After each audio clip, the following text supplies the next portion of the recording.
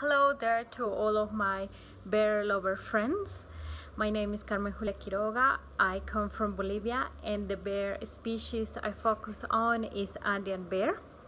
Uh, I'll be presenting my work in the hopefully upcoming conference in Kalispell, Montana uh, with the theme of human bear interactions and management.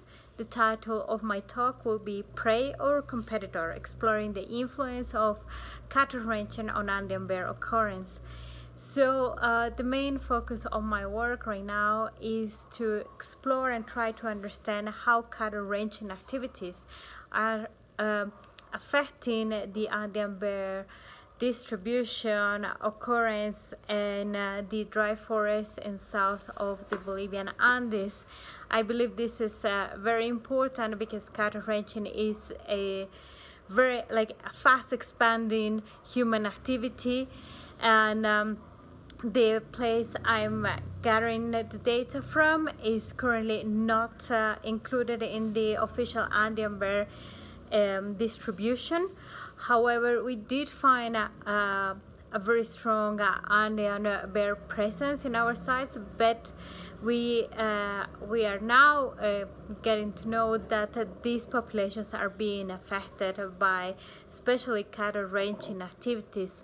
So uh, I'm using occupancy models to explore this relationship so I'm going to use the cattle presence as a covariate but I will also be trying to explore um, a co-occurrence uh, model between uh, Andean bear and uh, cattle. I know that I'm not the only one right now doing this kind of work but um, um the team of the project I'm involved with that would be uh, Dr. Ximena Velez Liendo and me especially coming from Bolivia and my supervisor Andreas Zedrosser we're trying to explore how this activity is affecting these uh, Andean bear population that we don't really know nothing about in the south of Bolivia.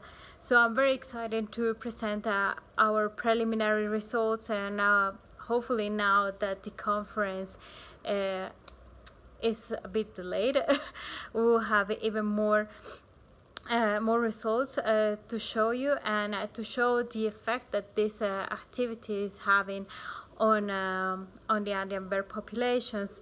We also hope that this uh, um, these results will uh, set as a, as a base of data and information that can be used in a future um, bear uh, population management and conservation plans and also to try to explore uh, other economic activities that will not have such a great effect on uh, Andean bear populations be, because we are very scared that these are the southernmost and most threatened um, bear populations in South America and Bolivia. So again, I hope to see you all soon and I'm very excited to see all the other talks and posters and presentations and see my bear friends again. Bye!